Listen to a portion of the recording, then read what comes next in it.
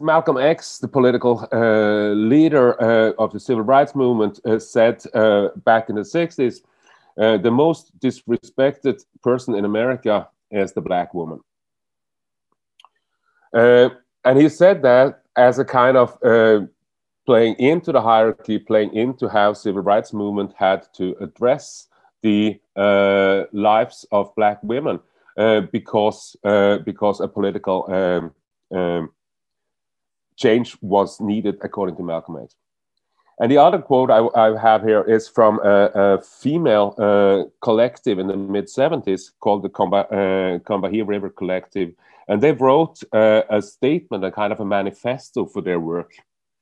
And there they, and there they among other things, uh, write as follow We believe that the most profound and potentially most radical politics come directly from our own identity, as opposed to working um, uh, working to end somebody else's oppression.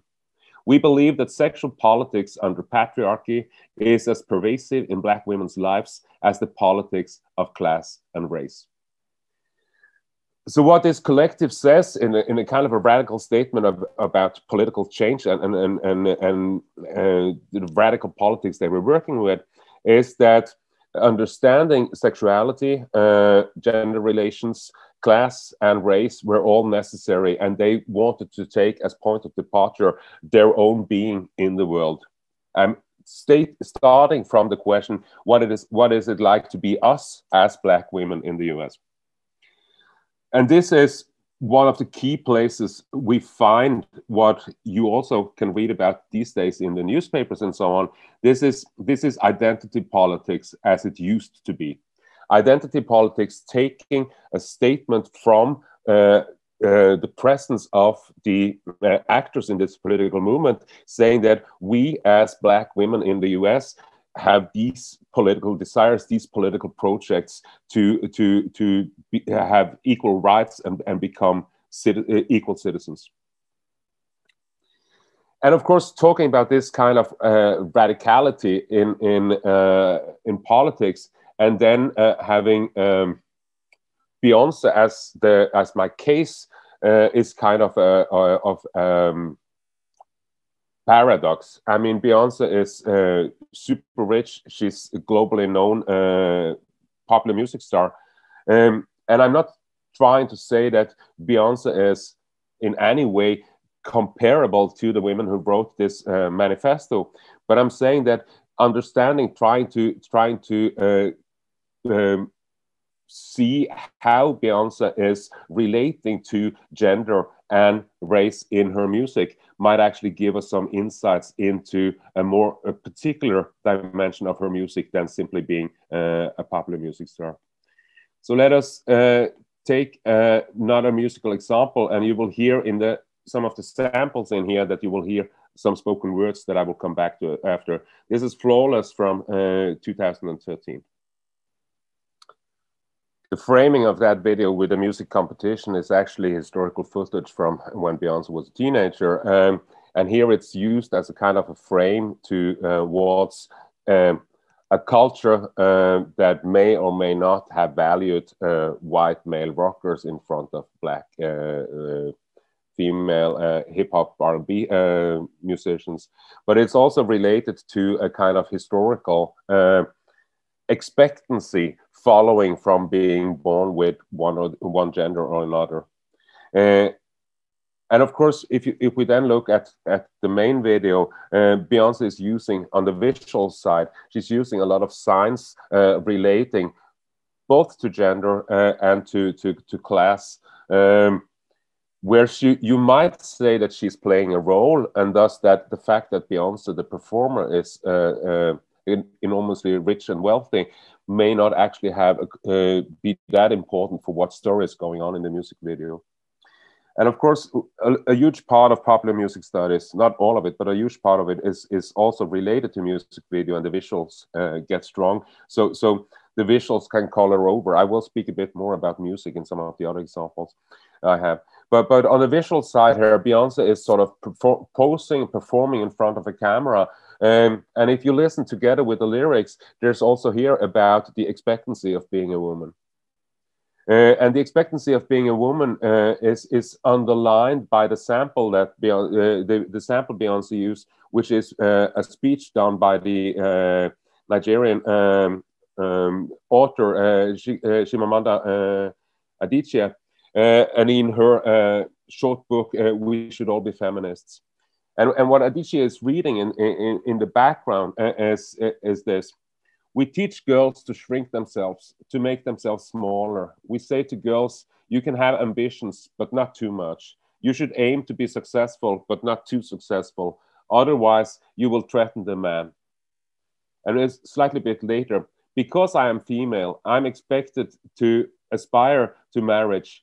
I'm expected to make my life uh, choices, always keeping in mind that marriage is the most important. Marriage can be a good thing, a source of joy, love, and mutual support. But why do we teach girls to aspire to marriage, yet we don't teach boys to do the same? And obviously, from a Scandinavian uh, point of view, this might sound pretty old school, um, um, as, as, as I guess we would agree that there's more kind of a gender equality in, in pedagogy and in schooling of girls and boys and others uh, here in Scandinavia. So this this also speaks into Adichie speaking from a particular situation, uh, from a, um, a, West African uh, situation. Uh, but still, Beyonce takes this this text and samples it uh, into her track. Um, and the book by Adichie has also been translated into Danish, so it has some kind of resonance for a leadership for a readership here as well. And what I think that this uh, lyrics here, the sample is using for Beyonce's uh, Beyonce's uh, performance, is also that she takes her position as a, a black Southerner, a U.S. citizen, and um, combine it with this uh, um, um, Af African author, and and try to sort of address in general, in a global sense, uh, perhaps not the solution, but the question how are gender hierarchies working in society today? And she says that there's a dub- there, there is a double standard. And I think uh, at least that, that's my uh, impression when I speak with my students at the university as well. Most of us have been in situations where we have noticed that there are double standards, that, um, that um, uh, uh, the demands for female students and male students may be, might be different in school, that the stereotypes that boys are noisy and we, uh, and girls are neat, uh, all those kinds of stereotypes are still alive, even if we think that we are very much um, equal. And Beyonce is using this into uh, uh, both a global situation, but also a, US situation. One of my black friends uh, told me um, that when he was uh, about to go to college, he had what he called the 10 times talk with his uh, father. And the 10 times talk was uh, the father saying to the black son, Remember, you have to be 10 times as good as the white students to get the same result. Uh, and he's a man more or less my age, and he spoke as if this is a talk we all have with, with our parents, and we continue to have it with the kids because the point of entry into an education system is already already uh, unequal, so to speak. Um, and and another friend of mine who grew up in in in uh, Jackson, Mississippi, he told me he had not seen a white uh, pupil in school until his uh, tenth grade, uh, and we're talking early '80s. So he actually went to an all-black school in in Mississippi because the white kids went to another school. so so. Um, even if Beyonce is is um, she's born in eighty four, if I remember correctly. So so it's a bit later, but she is she is also speaking into a, a country where. Uh, well, of course, racism as such is also uh, prevalent, but race relations, the, the, the way that uh, being racialized, being black, is a part of how you maneuver in in the world is part of it and the video we just saw is also challenging those views on how um, how a proper woman is, is supposed to, is to behave one of the things that Beyonce is doing throughout her, her music is to take control of her musical production. That's why I also showed that uh, live rehearsal thing where she said she simply set up this female collective. We are playing music together. We don't have these um, rules outside of of uh, we, we we can make our own rules. We can we can take control of the situation. Our female agency is determining uh, the music we we make. Uh, and she's also doing uh, another thing, as we saw in the in the video here, that she is insisting on not necessarily being a nice girl, but insisting on being a girl that is in control of her own sexuality and her, her own gender performance. So, so at one and the same time, she's performing for our uh, gaze. We can we watch her, uh, and she is also insisting that this club, this dance place for outcasts. If you saw on all the people, you could see that there are some dimensions of of punk, black punk uh, scene. There's some dimensions of of uh, there are signs of sexual minorities in that video, even that, even if they are not not uh, upfront. And, and it's it's it's this establishing of a collective that that insists on on on uh, taking their own uh, place in the world. And in addition to that, um, Beyonce also also uh, performs her music, stage her music, of course, together with all the people that are helping uh, and collaborating with her. And when I say Beyonce now, I mean both her as a person performer, but also the whole uh, production management around her. But she's using this position as as a um, female superstar to also uh, address uh, politics outside of uh, her own life and also historical politics. And for me, uh, the first video to to uh, the Lemonade album, the Formation video, who was uh, released five years ago. Uh, two days ago, two days ago, it was, it was five years since it was uh, released. Uh, that video changed changed a lot. Um, she she released it uh, out of the blue um, on on a Friday evening, and my Facebook and Twitter feed were 95% Beyonce in three hours after that video were released people were engaging with it, trying to uh, write about it. What does it mean? What are all the references? So, so there's a huge material of, of critics and academics having written about this piece. And, and it opens in New Orleans. There's references to New Orleans. There's references to Hurricane Katrina, uh, which was a, a, natural disaster, but devastated uh, New Orleans uh, and, and took a long time for, for people to get help. And there's a long black and, and brown uh, people, uh, people of color history in New Orleans, obviously, that Beyonce is dropping into. So there's references to the Caribbean, there's references to religious practices such as hoodoo and voodoo, and there's uh, references to, to, to a long history. And then all the way up to, to what was uh, very much on stake in 2016 with uh, young uh, black um, kids being killed by the police. So you will see a scene where, where there's a little tiny kid standing with his hands uh, above his head in front of the police. And just one day after uh, Beyonce uh, released the video we are to, supposed to see, she did her, her um, performance at the Super Bowl in 2016 and and uh, all her singers dressed in in in black with this uh, half army-ish uh, cap. So they were illustrating the black panther with a black panther uh, fist and so on. And they set an x uh, on the field uh, as a kind of of um, um, reference to malcolm x. And and quite a bit of republican white america in particularly rudy giuliani. He actually tried to stop the possibility that Beyonce should have police protection at her concerts that year because he claimed that she was uh, uh, getting uh, al- allied with with cop killers, as he said.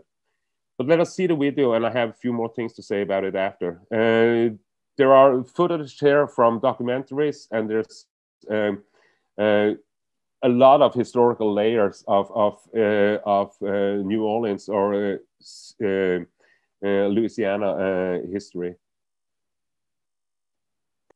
So not only is this uh, a visual reference to a lot of uh, New Orleans history, um, but there's also a, um, kind of a reinterpretation of that history into uh, into another kind of story than than especially white America or perhaps also Europe want to know. Um, what Beyonce is doing, or what her uh, directors are doing, uh, she has a hand in on it uh, as well, is is to sort of um, formulate a positive U.S. black past, not is not isolated because the the um, the whole history of being black in the U.S. is is also um, impinged on on um, the Middle Passage, slavery, uh, institutional racism, and so on. Uh, but that story, uh, as a kind of a dominating story, even even in quite a bit of, of uh, black scholarly work, also needs the counter history, needs the pride, needs the agency, needs the uh, the kind of of uh, see what we contribute to the world. Um, so when she is uh, uh, having uh, hoodoo priests uh, uh, and priestesses in here, she is also uh, referencing how hoodoo is a living tradition among blacks in the South. and, and New Orleans is an interesting story there. I've seen some scholars claiming that New Orleans shouldn't be understood as, as South USA, it should be understood as the north of the Caribbean. and, and that opens up for some kind of relation between different kinds of, of uh, cultural forms and also different kinds of, of musical forms.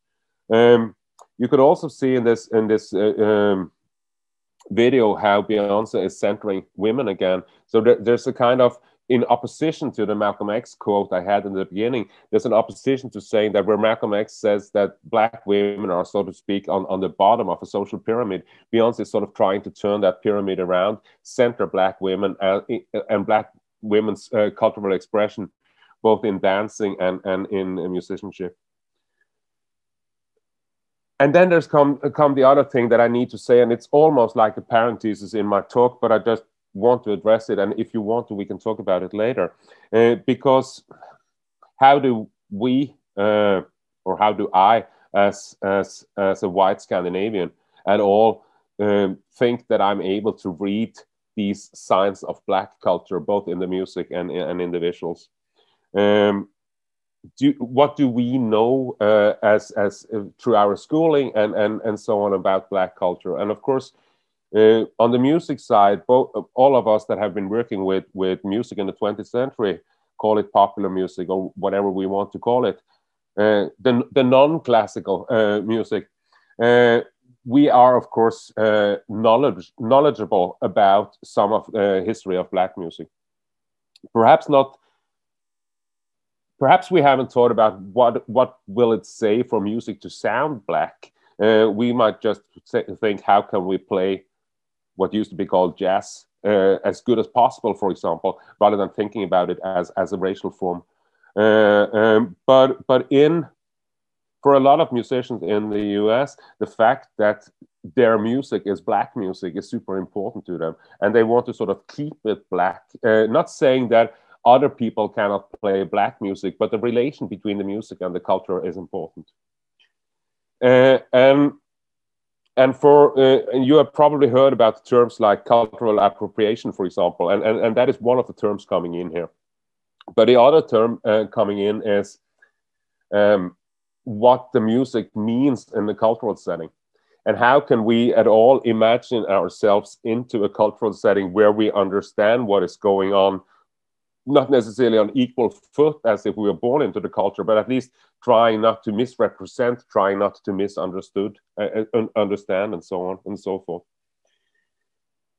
And i have no easy i have no easy uh, solution to it. I have a really hard solution to it because uh, i mean for me at least uh, it is about immersing myself in the music, but also in the culture around it, reading up, trying to understand as much as possible about Black lives and about Black cultural formations and, and how they might differ from what I grew up with. So when Beyonce is, for, is, is, is for example, here is showing that the, the black cowboy uh, uh, in the streets of, of New Orleans. That's also a, a, reminder to white America that no, the cowboy culture was not white only, even if that is how it almost had looked, say, in Western movies for, for the 20th century. There was a huge cohort of black cowboys. So it's an important part of African American history as well. When, when, when she, she uh, addresses the Mardi Gras party there, she also takes that, even though it, it's a kind of a sign of New Orleans uh, without any racial markers, she introduces it into to, uh, um, a black culture and she she she does that by by this combination of different uh, different uh, layers. And she also have guest musicians here so you could hear uh, Big Freedia in the background for example who was hardly known outside of new orleans when this video came. And Big Freedia is um, um, a trans person uh, trans radio personality in in uh, new orleans now also she's on, on albums and have been touring because this was a kind of a break uh, to, to, a larger uh, context. And that's also one of the things that Beyonce is using her her platform as a superstar to sort of uh, reach out to other uh, minorities, if you if you will, and and and help people's career in that sense. So it's it's it's also I would say it's also kind of an educational program to sort of uh, use her platform telling stories uh, that that needs to be told.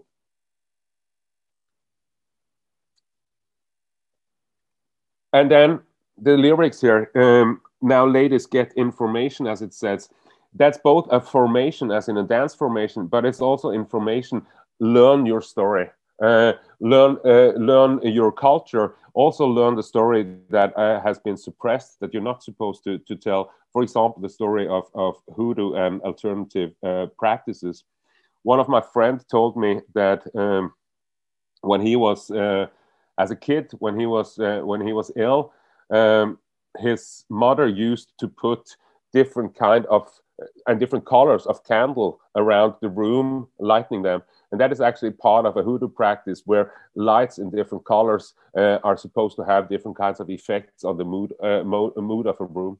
You can also do, do different scents or different spices and so on that have uh, a cultural uh, significance as, as, as uh, healing and medicine. Um, and this is, this, these are live traditions among uh, at least parts of, of the Black community in the, in the US, leading back to those um, hoodoo uh, practitioners that that uh, was shown in this video. And and important, a lot of these practices have been have been female, and we could make even though that's not the musical uh, argument I'm making now, but we can make that argument as well, thinking about our own music culture. Some musical forms have been primarily practiced by female practitioners. I'm not saying it I'm not talking about art now. I'm talking about music like lullabies, for example. Historically, lullabies has mostly been, been sung by, by women. These days, I would hope it's more equal. And, but but this also have, have had consequence that cultural forms like lullabies that have mostly been uh, practiced by, by women have not been studied, uh, studied as much as other musical forms.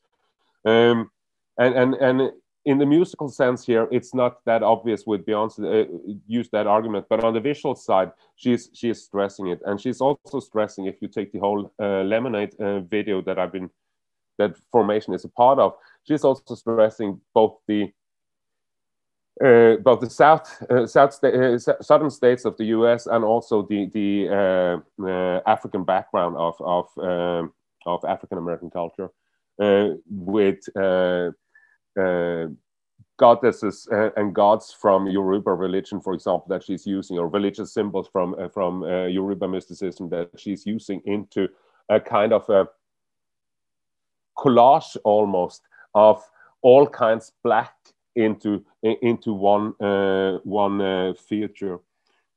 And one reason for me being interested in that, and now I'm taking you in a slightly different direction for my my I have a, I have a long ending now, but I know where I'm heading. Hopefully, um, because um, I'm as I as I told uh, as I said uh, in the beginning, I'm also interested in in the relation between uh, music and uh, science fiction or Afrofuturism or or music music being about other worlds, music be showing other kinds of worlds than uh, the practical uh, everyday life we are living. Uh, and that doesn't have to be, um, it doesn't have to be sci-fi. Uh, music as, as showing us some, some future world of harmony is, one way of thinking about music that, that has been found uh, among a lot of, a uh, lot of composers and musicians or a musician feeling uh, that exalted and being in a different world when pl playing is is is well documented. But but Beyonce is actually would be my argument. She's actually using both herself and and in collaboration with others. Uh, as my last video, I have two more videos I want to share with you. Uh, but she's also using this um, and, and there's a relation between the, the women in formation now and the women in her video for, for Run the World, uh, Run the World Girls, where you have um, a kind of fantasy space, fantasy like sci-fi fantasy, this this alternative world where power dynamics are different, where where um, um, as as sci-fi authors you would actually be be uh, constructing a different world and I think that that is one of the things that is happening in, in, in this video. And I think that Beyonce is using both, both dance and her genre references of music to illustrate that this is, this is, uh, this is an alternative world that we are supposed to be able to speculate uh, about and, and immerse in. Uh, and I will say a bit more about it when, when we have seen it. Look also how, how and both listen to the music, but also look how she's using uh, gender and race uh, in in an interplay in in, in the story in this video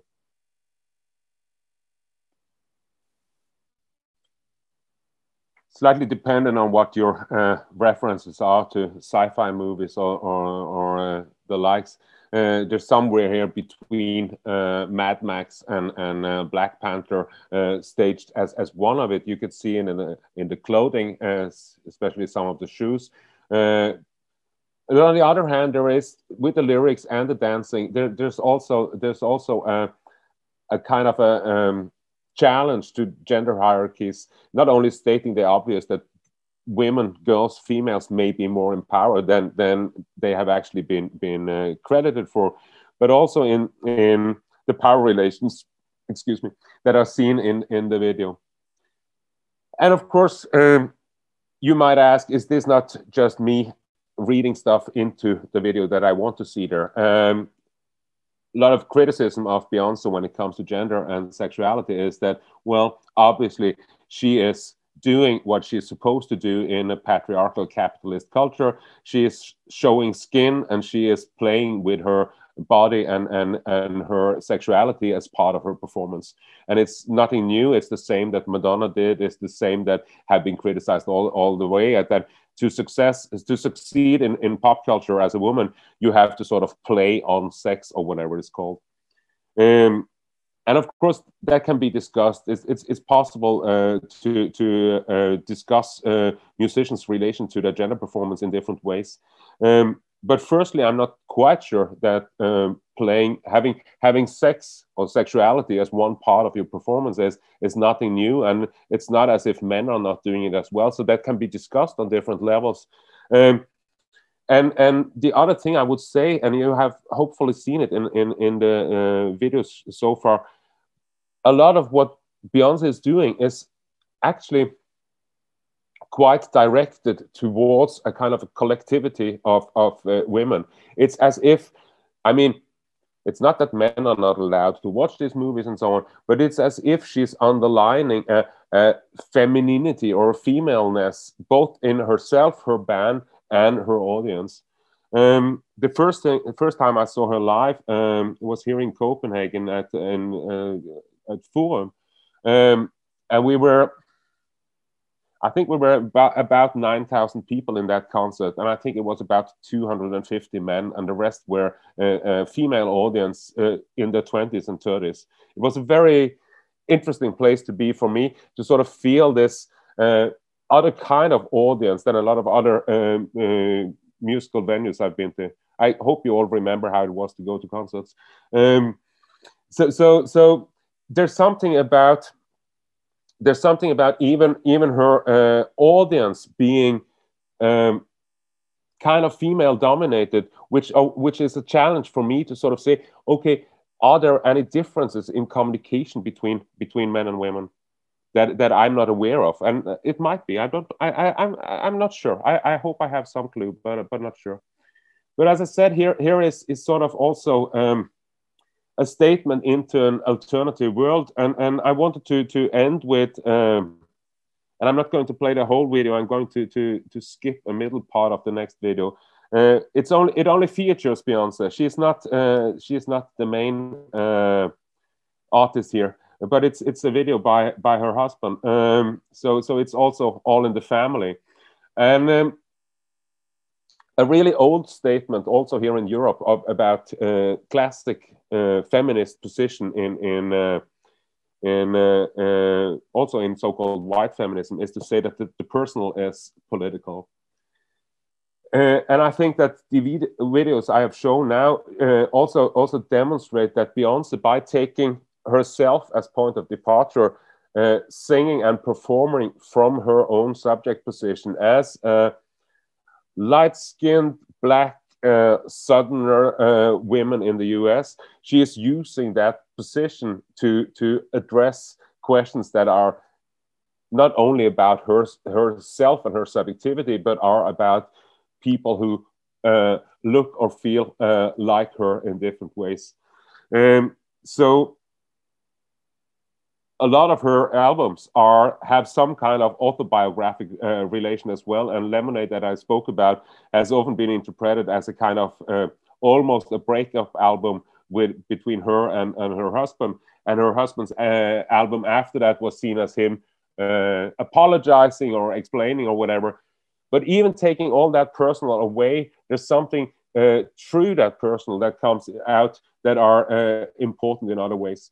And and the video to to um, uh, Family Feud from 2017, uh, directed by uh, by Ava um, um, is sort of starts out with a quote from from James Baldwin, who who is an extremely important uh, African American author who has gotten a renaissance now the last uh, three, four, five years, uh, as as addressing uh, the politics for Black America. Uh, but it starts with a quote from him, and then it moves into a kind of a sci-fi story, and we can see how uh, the video moves back and forth in time, and we end up um, in 2050, I think, with um, a new political structure with a collective of presidents and, and you, as you will see they are they are female sitting deciding the future of the US so here is a kind of um, sci-fi take on on how femininity or femaleness uh, can be the political power that that brings the world into a better place. As you could see, uh, it's it's not it's not even a music video any longer. It's a short uh, short movie uh, that has a music video part uh, to it. Um, and here uh, Beyonce is singing together with the sample, but also just singing a few notes. Uh, but again, uh, there's uh, these layers of references from the from the personal to uh, uh, that is a kind of ID that their daughter should become president in the U.S. in 2050 to to this story that starts out in 2444 as if we are after some kind of radical world world change.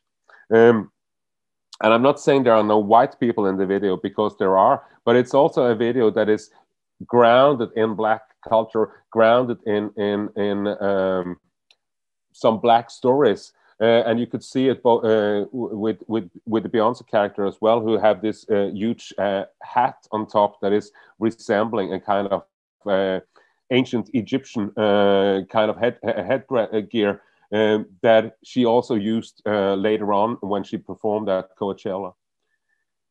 So what she's doing, and I'm, I'm, I'm coming to an end now with what I want to say. What she's what she's doing, in my view, is to sort of um, take black culture, sonic culture, visual culture, cultural references, she's taking that into her music, using it in a kind of remixing for uh, for telling stories that center uh, uh, black women uh, that are about negotiation of of uh, blackness in the U.S. Um, and while it's a bit more difficult, it will take some more time for me to do it. Uh, she's doing some of the same with with musical dimensions. She's sort of referencing.